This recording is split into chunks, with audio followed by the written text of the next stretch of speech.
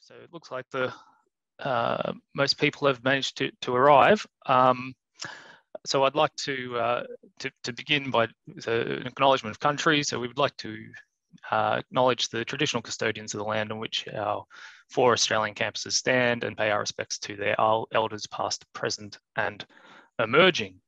And uh, today we are very um, happy to welcome Professor Frank Wolak uh, to present uh, to us all. Uh, Frank is a professor in the Department of Economics at Stanford University, and we're very happy also to have him on a fractional appointment at Monash, linked to the Australian Electricity Market Initiative, uh, run out of the business school. So um, Frank has been and remains a world leading competition and regulatory economist, particularly with respect to the electricity sector, but uh, not limited there. Um, so I personally know Frank uh, well enough to basically stop with the listing of all his accolades because you'll either blush or get angry with me, but I'll just say that he's studied or advised in, uh, uh, you know, uh, in many markets or, or advised many regulators around the world. It might actually be quicker to say the ones he hasn't or is less familiar with. I'm not sure if you've ever studied the Greenland market or something like that, Frank. Um, but, uh, and I'll just end by saying he's dealt with, I'm sure, many hairy issues in his work over the years, but I'm sure his greatest accomplishment was finding a way to supervise yours truly, uh, his PhD to completion. Not sure how you achieved that, but I'm very grateful. So Frank, we are thrilled to have you here.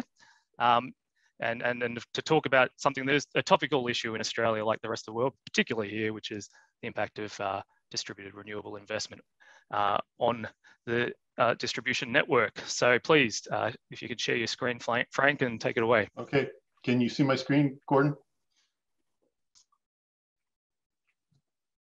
Okay, uh, thanks a lot, Gordon, uh, for the introduction. And it was a pleasure having Gordon as a student. Uh, and it's a pleasure still interacting with Gordon. So, uh, and thanks very much for the invitation. So, um, so the, what I, what, oh, oh no, okay. So um, th th this is just a one example of the, I guess the general motivation for the problem is this idea that if you invest in distributed generation, uh, this can uh, effectively uh, as least as the quote in the New York Times is, you know, take the pressure off the distribution network, reduce the need for future distribution network investments would be uh, a simple uh, uh, uh claim that's often made that uh, of what distributed generation will do. and as you can see, if you take a look at this, is just a, taken from US Department of Energy data, the interesting thing to note is that th this is in some sense, uh, seems kind of contrary to what we're experiencing with respect to capital investment. And, in particularly, you can see that O&M costs and uh, just uh, the, the, the, standard uh, uh, uh, you know, with customer expenses, but capital investment it keeps keeps going up. So um, the question is, is, is, you know, to what extent is this kind of claim that's commonly talked about, in fact, the case. And just to give an example, you can sort of, the, you get these very divergent views. This is taken from uh, a, a, filing that was made in the state of Utah, but you know, very different implications for, you know, what is the uh, reduction in cost associated with say, an investment in distributed solar. You have the solar uh, provider uh, with giving you this number, you have the incumbent utility uh, giving you this number. So um, what we're going to do in this paper is actually look at based on actual power flows. And so the nice thing that we have access to is a uh, very detailed data set for all uh, distribution network uh, uh, access points that effectively gives us hourly flows. And we also have a time series of uh, the investments in distributed generation um, in those distribution networks. And so what we're going to do is, is use that uh, to effectively look at the relationship between um, the uh, investments in distributed generation and the need for upgrades to the distribution grid. And so the, the basic, just for folks who aren't um, electricity uh, geeks, the basic idea is the traditional approach to electricity is you essentially produce it at a large scale uh, generation statement. And in the, in, the, in the case of France, these typically are uh, nuclear power stations uh, with massive turbines. And you move the power from the large scale generation facility down to uh, customers along a high voltage transmission network. You uh, uh, transform the voltage down to a lower voltage that you then move it through the distribution network. And then you even have a transformer at the household level that actually uh, reduces the voltage even further so that you can consume it uh, at, at, with the standard household appliance. So that's the kind of uh, typical way things went with the advent of distributed solar. Uh, one example, or just distributed generation in, in general, what can happen is, is that you can put these devices in the distribution network and you can actually have uh, both power flows going out of the distribution network as well as into the distribution network. Uh, and so, as well as also flowing from, say, this location where the distributed generation technology is located to, say, this location and uh, this location. Uh, but but uh, so that's the basic um, data that we're going to use is essentially information right at this this interface. And what you can see is this is just one example of is well known to anyone certainly uh, about the intermittency that you can get uh, with respect to uh, solar as well as this is for wind. This is just the extent to which the, this uh, wind unit uh, its intermittency over uh, a two week interval. So what we're going to what we have is we've collected data on, as I said, um, five types of distributed generation technologies, uh, solar PV, wind, small hydro, uh, and then renewable and non-renewable thermal. So think of renewable thermal would be something like, you know, biomass and non-renewable thermal, well, that would be, you know, a natural gas or uh, a, a most likely a, a oil-fired power plant, diesel, you know, diesel-powered fire power plant. So the what we we look at, at the case of France largely because of the uh, ability and, and, access that we have uh, to, to data at an hourly level uh, at, at each of these uh, distribution interconnections.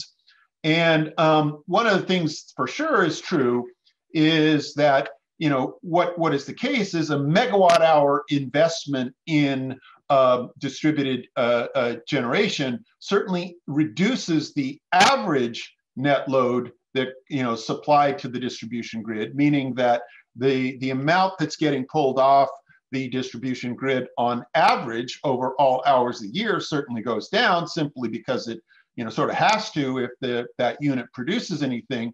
But the surprising result to us is that it it for both wind and pv we find from our analysis that essentially a, there is virtually zero uh, impact at the upper uh, end of the uh, uh load duration, net load duration distribution. So think of it as at the upper end of the distribution of poles from the distribution uh, to the distribution grid, the additional megawatt uh, of distributed solar or distributed wind uh, has virtually no effect on the peak withdrawals uh, from uh, the distribution grid. Whereas in contrast, as you would expect, is that uh, you know for the thermal and small hydro uh, resources, uh, we, we do find at the upper end of that distribution, an investment in distributed generation does seem to reduce the net demand. So how do we how do we come up with these results? Well, what we do is we said is that all these uh, substations right there where the where the question mark is, we've got essentially uh, the uh, power flows on an hourly basis. And this is just to show you that, you know, so think of it as the first picture, picture A is France, the next picture is then this box here, is then here, then the next picture you can see is this box here, And what you can see is if you look, you can see the uh, dot that gives basically the distribution substation. And then you can see what's connected off of it. You can see it's connected to houses with rooftop solar systems with a larger scale uh, solar system connected there. And that's the information that we essentially use over time to construct a time series of how much distributed uh, generation capacity there is behind each of the more than uh, 2,000 substations that we have data for. Um, and what we have is this net load level, meaning how much is essentially being pulled at this location right here uh, in the distribution grid, which is in the case of France, it's that you know the the the, the distribution grid uh, is basically stepping down uh, to effectively 20 kV or uh, uh, or below. So um, all right, and these are, as we said, the data that we have runs from 2005 uh, to 2018. So what we, this, this is just giving you an example of the raw data that we have. And then what we do is we're gonna come up with what we call for each of these substations, okay, so for each of the blue dots here, we're gonna come up with a annual load duration curve, which is essentially just think of it as the cumulative distribution function of this the hourly load levels for the 8,760 hours of the year. And we're going to also look at hourly ramps, which is basically by hourly ramps, we mean the change in output level from period T to period T uh, plus one. Okay, and that's our hourly ramp rates. Because an, another thing that we're, we're going to see is, if you like, this idea of what do these investments do to, if you like, sort of the, the stress on the system in the sense of how much can this load change across hours and what does the investment in uh, distributed solar, wind, other technologies do uh, to these hourly uh, ramp rates for this net load that's coming out of each uh, distribution network. So to get the load duration curve, think of it as we just take the, um, the, the hourly values and you just stack them from the lowest to the highest. And so you can, you know, as you go up, you can see that you you you you know you you essentially just sort them according to the hours of the year, and you will get, if you like, a essentially this uh, cumulative distribution function. And so, um, you know, just to go further, you can see that okay, uh, with probability one right out here, this is or it right here, p hat that's basically telling us that you, with probability, um, you know, no uh, one minus p hat, your capacity that uh, of net pull from the distribution grid will be less than or equal to k star. And so what we, as we said, what we do is this for each of the load duration curves, we're going to compute what this, um, this distribution looks like. And what we're interested in is what happens to this uh, distrib load distribution curve as you invest in each kind of uh, uh, distributed generation technology. And so you could think of it as, okay, in this case, we do we we we do an investment and the the curve changes to the red curve.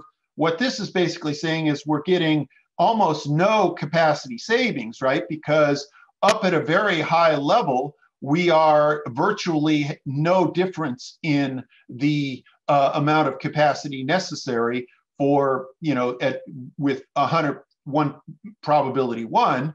Whereas down here, you can see we're getting more capacity savings at the low levels of the distribution of net demand. And then up here, you could think of a different one where what we're doing is getting large capacity savings because as you can see, we're, we're reducing uh, the point at which that distribution uh, uh, essentially hits one. And so that would be sort of the example of yes, an investment in capacity is reducing our need for uh, distribution network uh, capacity. In other words, it is allowing us to forego future distribution network investment. So what we what we do is, as I said, for each one of these um, uh, locations for each year, we are essentially computing this blue line, this red line as and as it changes over time. And then what we're going to do is how do we then summarize this information? That's where we're going next. But think of it as for each location, for each each each uh, each year, we're basically computing what this is. So we have, as you said, for the more than 2,000 locations, for the um, the essentially uh, uh, 14 years of data, we've got you know quite a bit of of of, uh, uh, of information. So we do the same thing for the hourly ramps. It's just now we have to first take the the the the pattern of the net load. Then we take, if you like, the first difference of that. That's what we mean by the ramp rate. So what was the delta between the period, last period, and this period. And that is what we're plotting right here. That's just the, if you like, this curve here is the plot of the rate of change of this curve right here.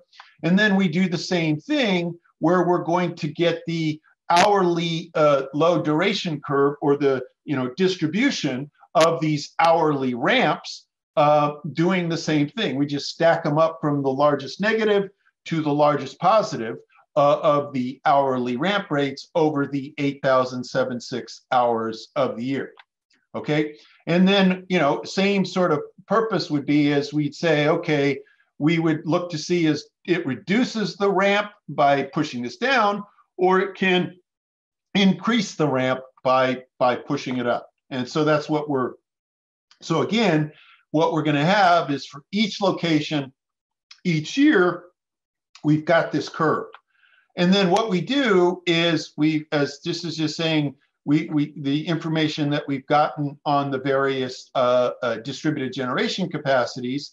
One issue that we ran into is there are some issues where with the with only uh, uh the exception of some of the solar PV units, we were able to assign every distributed generation unit to a specific substation.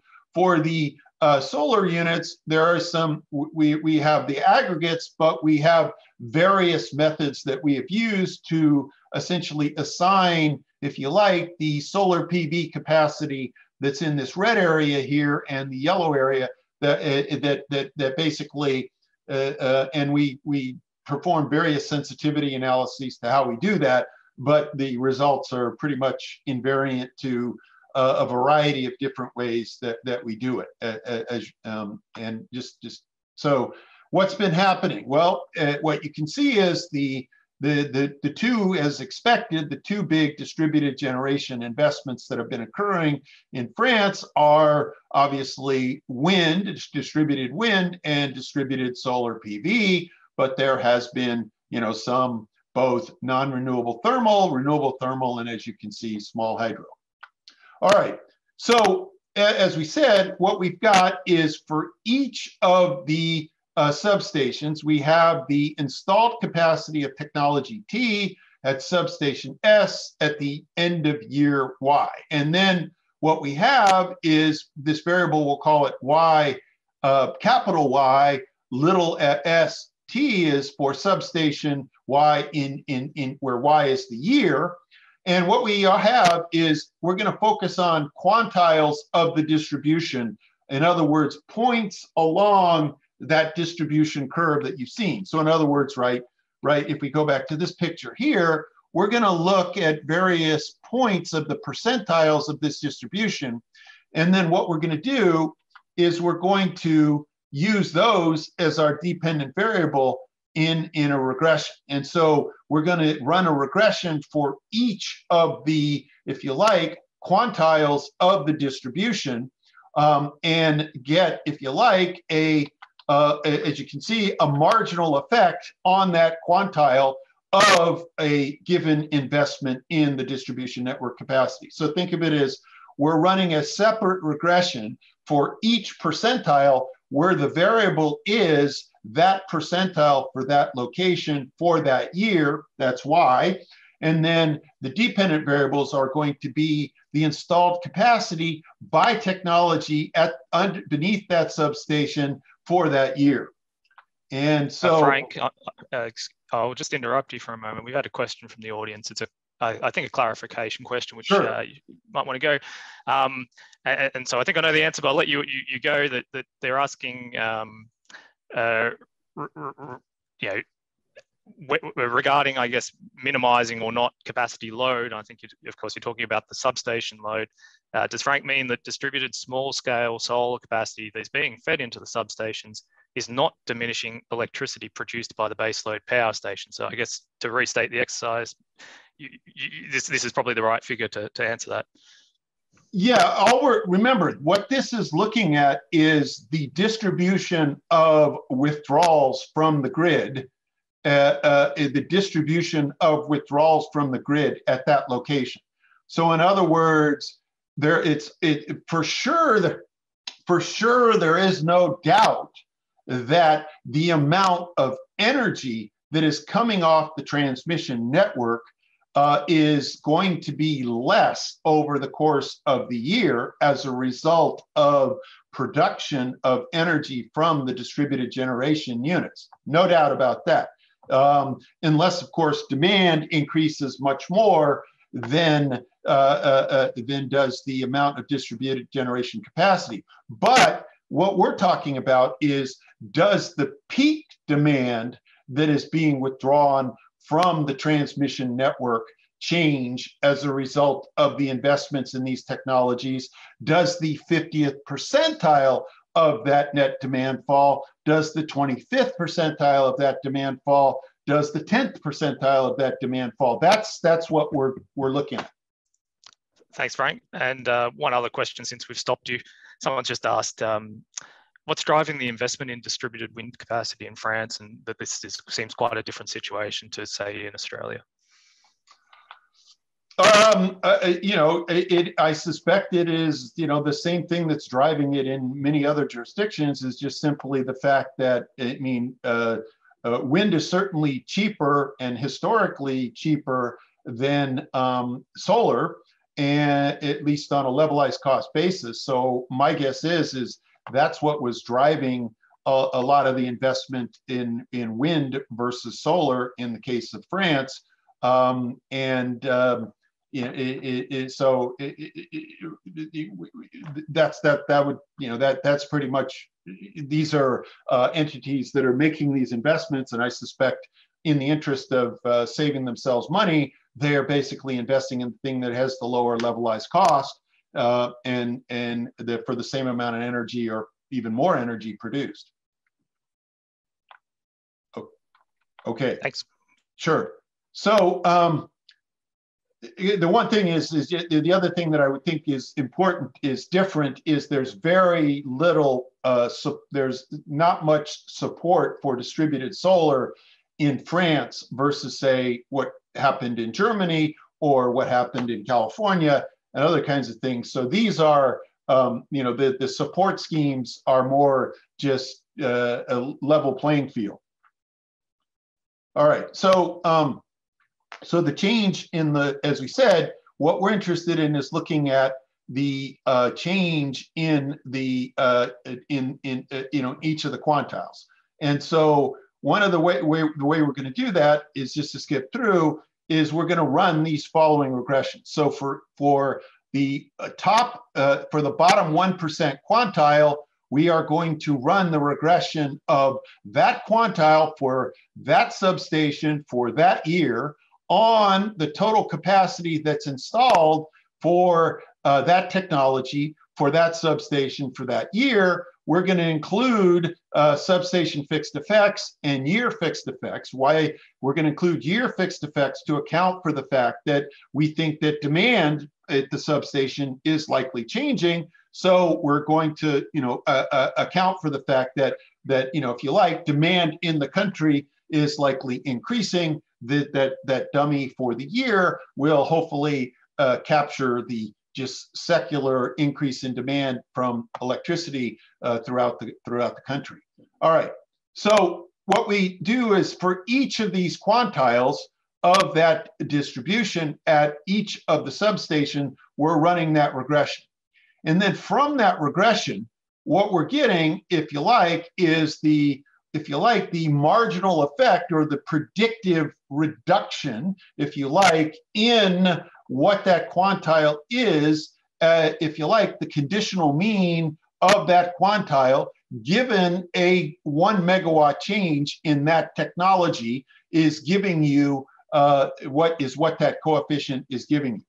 And then the way that we, we, we, we represent it is, is, is in terms of this picture. So what we do is we just simply plot up the coefficient. So think of this would be right here would be the coefficient at the first percentile. If this would be the coefficient at say the 10th percentile, and then this would be the coefficient at the 25th percentile, and we just connect the dots. And then you can see over here is the coefficient associated with the 99th percentile. And what you can see here is sort of exactly what we would we would hope for uh, from distributed generation is pretty much uniform reduction for all quantiles in the amount of net withdrawals that are coming out. And even more so, the downward slope also makes sense, right? Because what you would expect that someone would do with a, say, on site diesel facility, which is a non renewable thermal facility, is when the demand and the, the, the uh, price is very high in the wholesale market. Um, and um, it would very likely uh, uh, turn that unit on and turning that unit on would therefore have the largest effect in reducing the peak more than reducing the off peak hour, simply because it may not make economic sense to run that expensive diesel unit uh, during the hours when that net demand is, is, is, is lower than it is during the peak hours. So running during the peak hours, this is precisely the um, pattern that you'd expect to get from the quantile impact function. All right, so then what we do is these are the renewable uh, thermal and small hydro.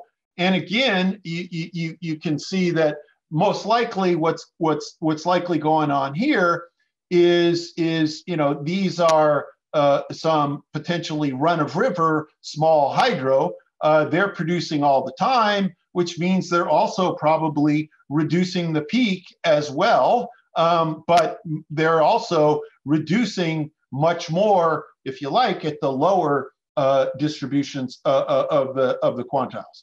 So then finally, we we fold in the uh, values for PV and for wind. And what you can see is for PV, you can see that there's a, a, a, substantial reduction in the quantiles of the very uh, low in the distribution of uh, net demand from the uh, uh, uh, of electricity from the transmission network. So in other words, during the lowest, if you like, net demand times, the uh, the the impact of a, a megawatt of solar pushes down that quantile very much. But as you move up the quantiles of the distribution of net demand, the marginal effect on those quantiles of an investment in a megawatt of distributed solar, as you can see, has not really even a statistically different from zero effect on the peak. In fact, you know, all the way down to probably about, you know, 80, uh, the 80th percentile of that distribution or even close to the 75th, it's not statistically different from zero. And similarly, for the case of wind, you get a very small uh, reduction, at least in the peak demand um, uh, with respect to wind. So, but but still, uh, by far the smallest peak reduction relative to the um, other technologies, the non-renewable thermal, uh, the uh, small hydro, and the, the renewable thermal. So that that's basically the story, which is again in, in terms of the peak utilization of the distribution network is is effectively the fact that for these dispatchable resources or resources that produce potentially 24 7 such as say a run-of-river hydro facility, um, you know, small run-of-river hydro, uh, you do get a reduction in the peak utilization of the distribution, uh, uh, you know, uh, network uh, or withdrawals from the transmission network to the distribution network. But for the case of uh, PV and non-renewable thermal, uh, pretty much uh, no change in the peak withdrawals from the, the, the distribute the transmission network to the distribution network. Okay, so what about the case of ramps? So we can go through and do the same thing. And here, again, you can see that for the most part, the investment in these technologies, uh, these dispatchable technologies, has a, a little effect in, in the sense, but not really uh, a statistically different effect from zero. Um, in other words, the uh, confidence intervals, for the most part, for the two extremes of this these uh, quantile effects are pretty much not different from zero, although you can see the point estimate, particularly for the small, uh, the I think it's the small hydro, are, are upward sloping. But now, if we bring in the uh, wind and, and, and solar, you can see that what a megawatt of investment in, the, in those technologies do is significantly increase the extremes of the ramp distribution. So in other words, what it's showing is, is that a one megawatt uh, increase in the uh, solar or wind is, is, you know, in the extremes is increasing the hourly uh, uh ramp rate by more, you know, more than 0.1, uh, if you like, uh, megawatt hours.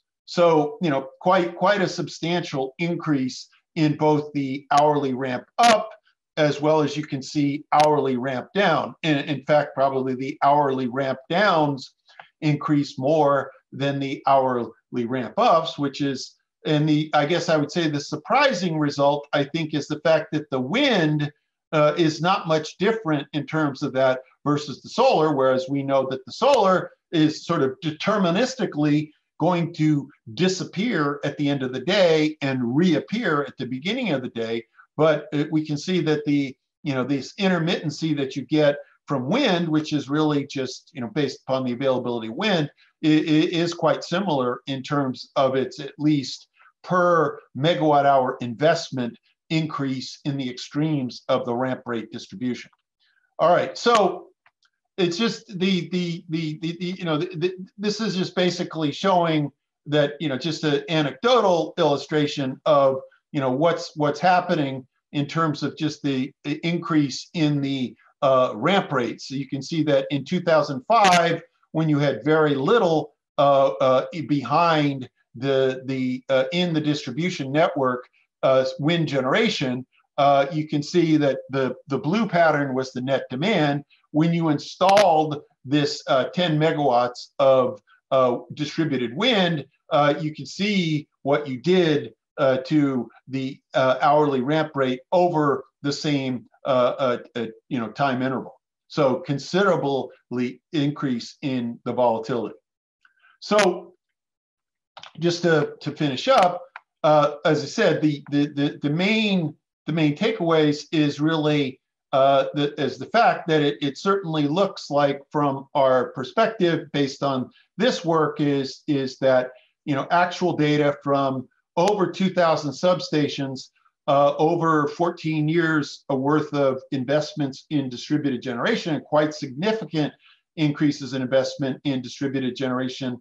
Um, that, that these investments in wind and PV had very little uh, sort of reduction in the peak withdrawals from the distribution grid uh, uh, and significantly increased the hourly ramps in the distribution grid, both in the plus and the minus directions, I think these results are certainly help to explain what we saw uh, at the beginning of the talk right here, which is increases in the capital investment in the distribution network to effectively handle the fact that you've got to worry about these reverse flows. You've got to worry about the faster ramps that are coming, you need to upgrade the distribution network to accommodate those. So if anything, it's it's it's more of the in installation of wind and solar, at least if we take the example that we got from uh, France, is if anything, probably increasing the cost rather than uh, helping uh, uh, to avoid those costs. Whereas in the case of the thermal resources, the small hydro, um, the both renewable and non-renewable thermal resources, we, we saw that those did uh, significantly reduce uh, peak utilization uh, of the distribution grid. So the, the one thing that we're investigating now is this idea of, okay, um, one of the things that might help is the fact that if you have distributed battery storage in the distribution grid, uh, could that help you um, essentially get some of these peak reduction benefits? And how much battery storage uh, would it take? One of the other, just to just to give a little bit of information on on that, we've we've done uh, some sorts of uh, various uh, you know models of how a battery might behave and one of the things that was, again, surprising to us based on this data is the substantial amount of battery investment in the distribution grid that is necessary um, to effectively uh, get a reduction at the top of that uh, uh net load distribution from a megawatt of investment in distributed solar or distributed wind. So, um, you know, basically saying uh, that a lot of battery uh, investment is necessary as you significantly, you know, scale up the amount of wind and solar to the levels that we are at least seeing at the end of our sample period in, in many of these distribution grids. So um, I'll, I'll, uh, I'll stop here and take any questions. Uh, thank you very much, Frank. That was uh, that was terrific. So um, we have a, a, few few questions lined up. Um, there's a couple around this theme um, of, um, you know, one, one question for David Javier is, is do we care about the ramp rate in the distribution network or do we care about ramp effects on the bulk power system? And there was another question along the similar lines of, of to sort of say is the inference that DER is driving the need for network augmentation to accommodate ramp rates and energy flow needs. Um, but are there other influences? Well, I think I think this is more a question of your analysis. Are, are other influences on demand isolated and removed, which I believe is probably the fixed effects in your model. But um, yeah, yeah, I mean, you could speak to we, that. We, we, we, we're basically giving, if you like, a um, and we've we, we the other thing we've done is is tried to sort of model uh, with greater uh, granularity in terms of allowing, say, for different uh, uh, rates of growth in demand across different distribution uh, networks. And again, the, the results are fairly, are at least the, the, the results that I'm talking about are, are quite similar um, in the sense of you, you, if anything goes the other way of making it even less likely uh, that, in other words, the wind results become to look more like the solar results uh, in the sense of almost nothing at the upper end.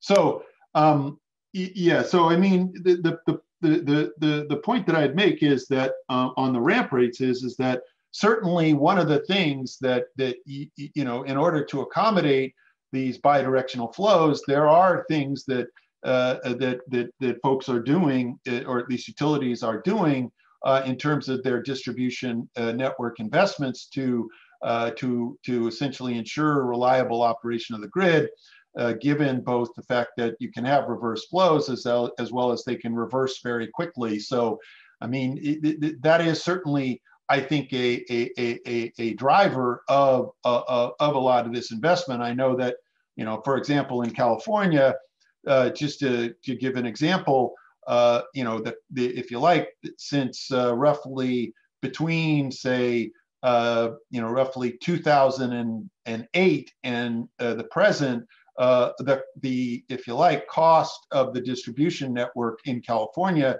ha has more than doubled.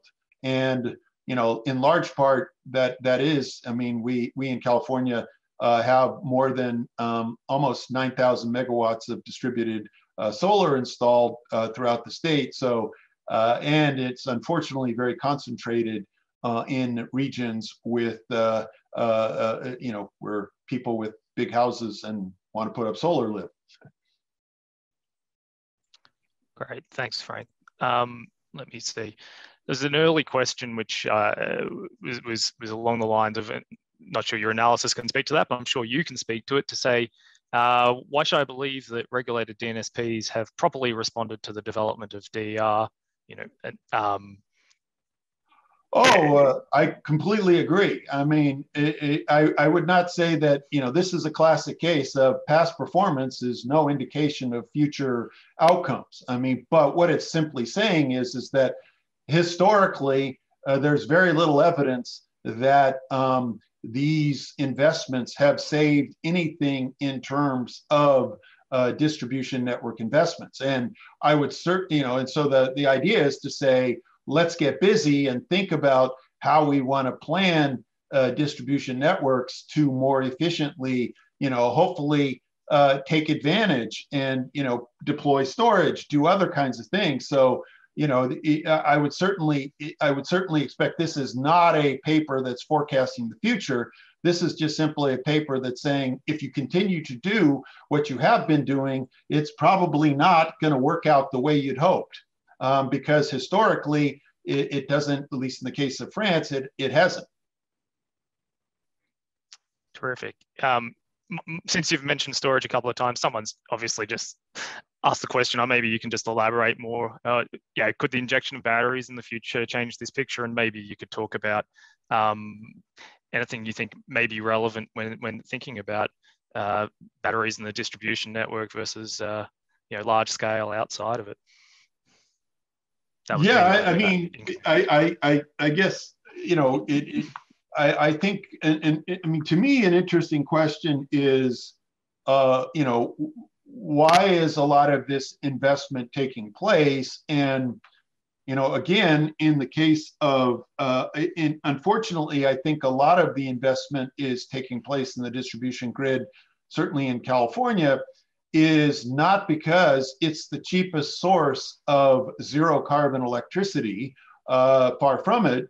Um, it. It is taking place because I would like to push costs uh, that are sunk that I have been recovering in my that have been recovered from my rates uh, onto others uh, by installing a distributed solar system. I mean, to to to, and so you know, I think that's another uh, you know issue that that needs to be considered is thinking about how do we think about pricing access to the distribution network in such a way that we aren't giving people this incentive to do something that maybe is privately beneficial to them, but perhaps raises the cost to everyone else who is unable to, i.e., own a house or put a solar panels on their roof. I mean, to uh, go to the case of California, um, you know, uh, average residential prices are uh, 22 cents uh, per kilowatt hour. The average price of wholesale electricity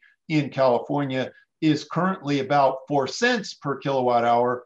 So, you know, if you figure, okay, the marginal cost of delivering that energy to me is probably at most one cent, that would be off the charts, the high levels of marginal losses and the like.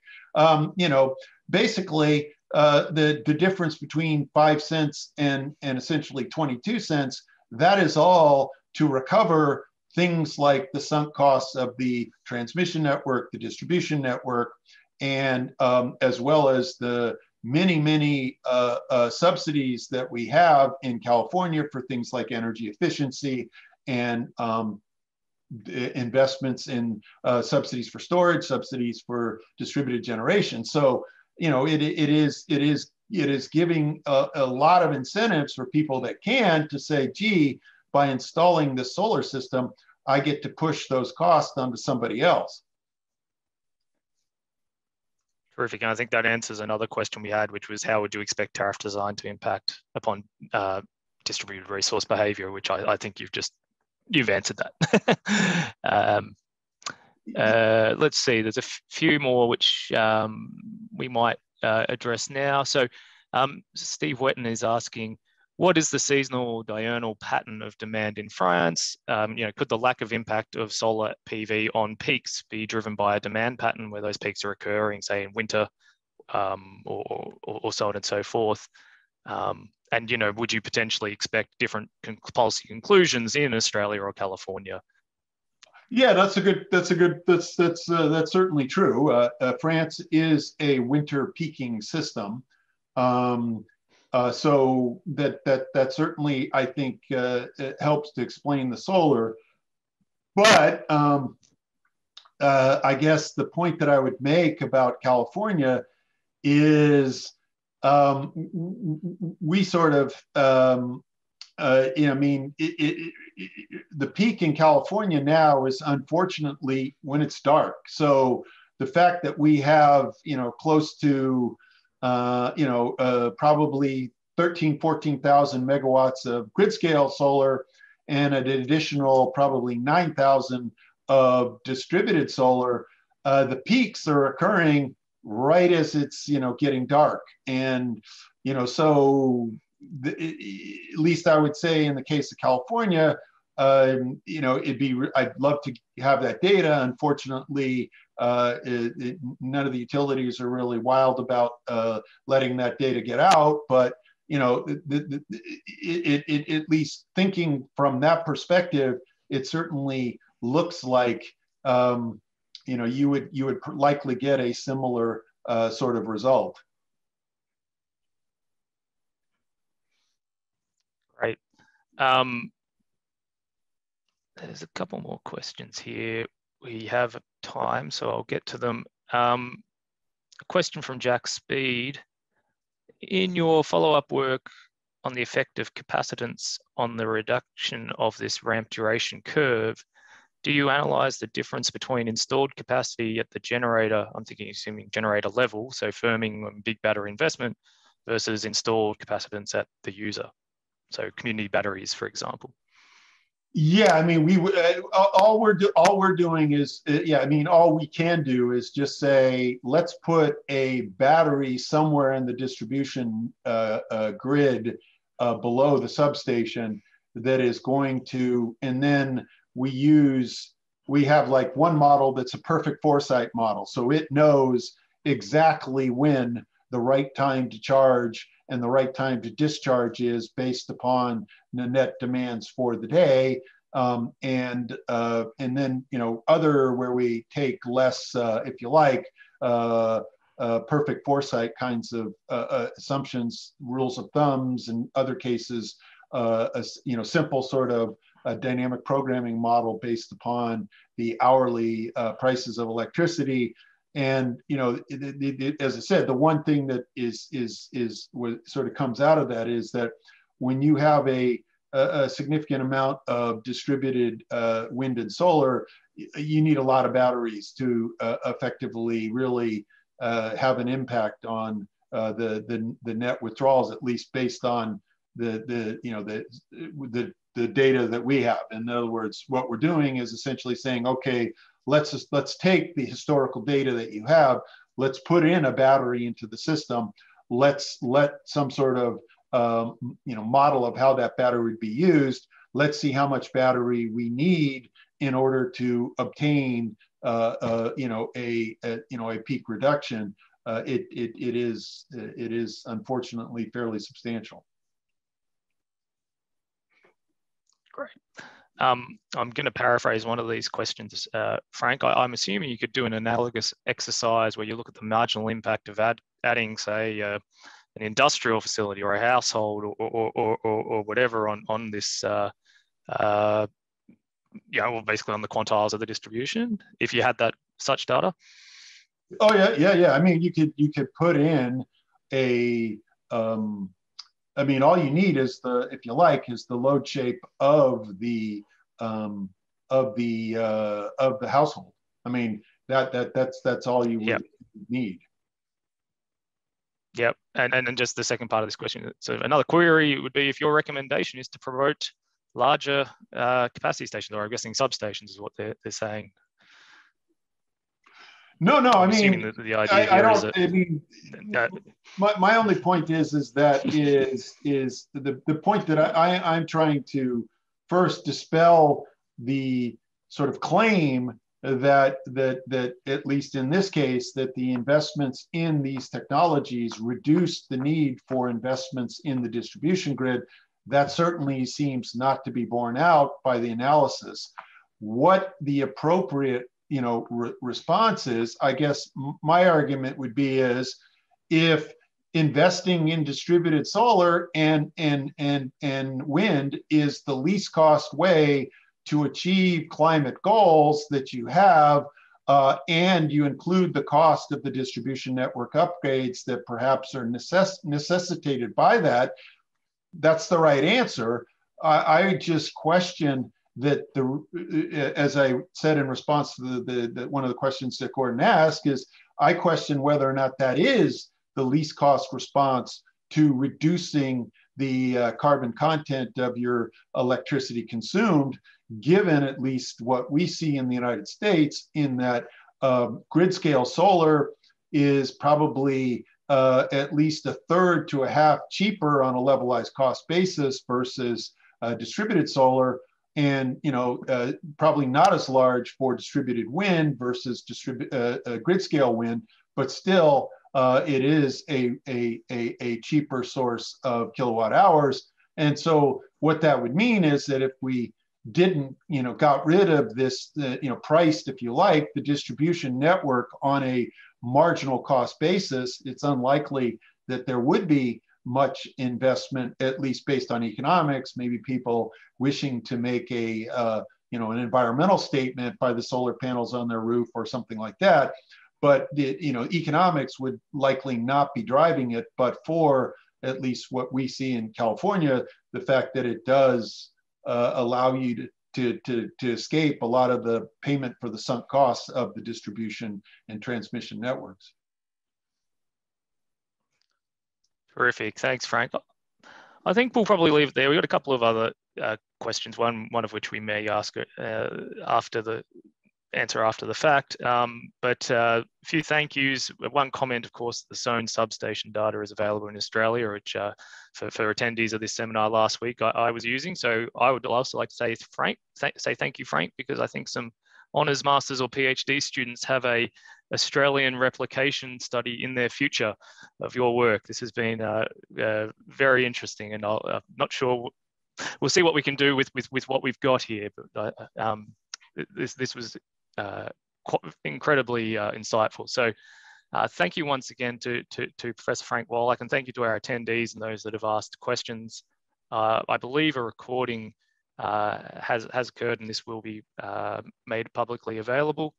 And um, I'd just like uh, to encourage uh, the attendees to keep an eye on, on, on the work we're doing here uh, at Monash and the speakers we're getting in. Um, and and um, you know, we'll, we'll surely have a few more of these in the, in the near future. So thank you once again, Frank.